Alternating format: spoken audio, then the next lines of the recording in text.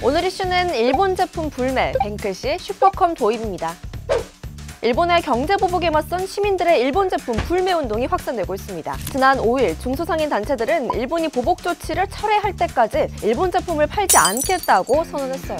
불매를 넘어 판매 중단까지 이어진 거죠. SNS에선 불매 운동 대상인 일본 기업 명단이 빠르게 확산됐습니다. 수수료를 내더라도 일본 여행을 취소하고 서울에서 대구에서 시민들이 자발적으로 피켓을 들고 1인 시위를 이어가고 있어요. 일본 제품의 대체품으로 또 모나미, 하이트 진로 등 한국 토종 기업들이 눈길을 끌고 있는데요. 이런 상황이다 보니 명단에 이름이 오르내린 기업들 중 몇몇은 일본과 무관하다며 자꾸 해명에 나섰습니다. 조지아 커피, 토레타 등을 판매하는 한국 코카콜라는 일본산 제품이 아니라는 공식 입장을 내기도 했는데요. 두 브랜드 제품 모두 전량 국내에서 생산 판매되며 일본 코카콜라와는 로열티를 포함해서 어떠한 경제적 이해관계가 없다고 밝혔습니다.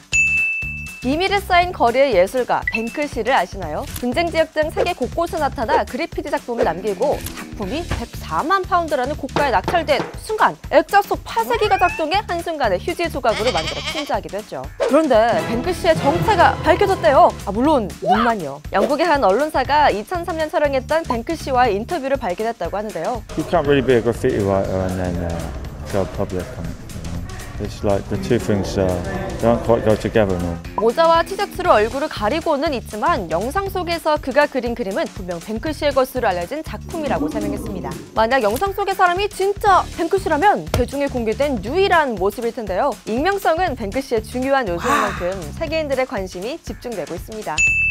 하루 종일 비가 온다고 해서 우산 준비, 장화도 신고 그런데 비가 오지 않았다? 아, 여름에는 역시 워터파크로 떠날 준비 다 했는데 헉, 비가 온다! 아, 왜 자꾸 이러는 거야? 그래서 기상청이 얻은 별명 오보청 이 오명을 먹기 위해 명예회복에 나선 기상청 슈퍼컴퓨터 도입! 무려 1초 만에 천조 번의 연산 처리가 가능하고 기존에 있던 슈퍼컴 4, 5기보단 계산 속도가 8배 이상 빠르다고요 뭐 슈퍼컴퓨터가 이제 더 좋은 게 있으면 예보가 더 정확해지고 이런 상황은 전혀 아니거든요.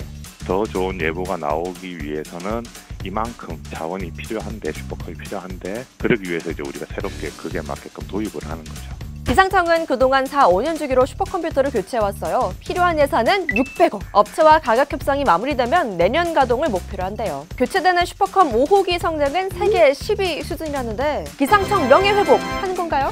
여러분 주말에 진짜 더웠죠? 이런 더위 여러분은 어떻게 이겨내시나요? 댓글로 저한테 좀 알려주세요. 구독과 좋아요도 잊지 마시고요. 저는 다음 주에 또 만나요. 안녕.